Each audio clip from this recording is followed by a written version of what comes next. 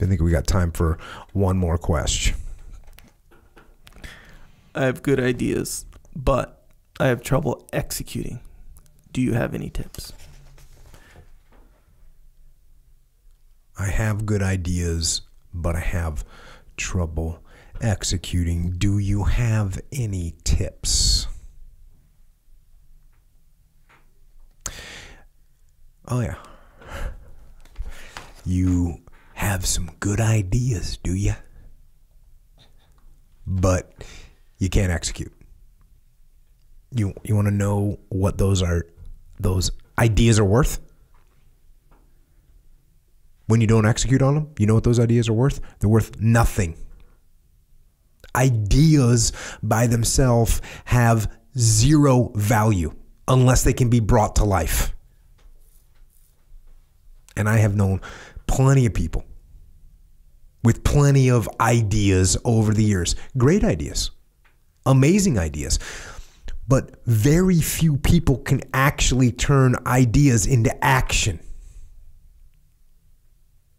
And those people end up old and bitter and angry because they didn't execute their great ideas. And so here's what you do you execute. You actually make things happen.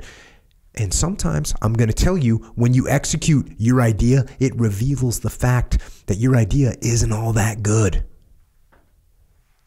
It's not the brilliant idea you thought it was. And some people are actually afraid of that, and that's what stops them. But I'm not afraid. I say, but bring on that failure. Let me learn that my idea is no good. Because even if you learn that your idea is garbage, at least you know not to waste any more time dreaming about it or thinking about it. Go on to your next idea. But don't let these ideas just wander aimlessly around in your head. Get them out.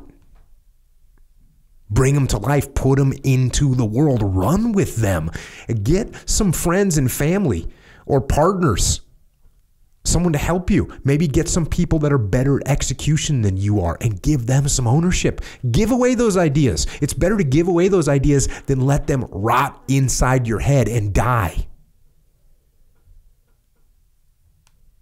And whatever path you take, whether you force yourself to execute or you bring people in to help you, whatever path you're going to take, do it. Do it. Pour some life into your idea.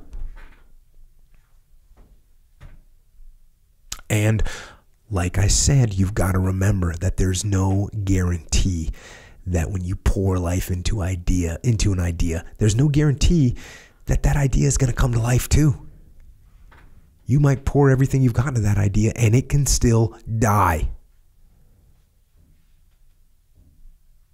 And you might have to let it die. You have to let the dream die because some ideas aren't good enough to live. That's just the way it is. But but you know what? At least give it a chance. Don't let that idea die inside your head. No more waiting, no more putting it off or waiting for the right time or the right people or the right alignment of things in the world. No more of that. No more excuses. Just execution. Just go and make it happen.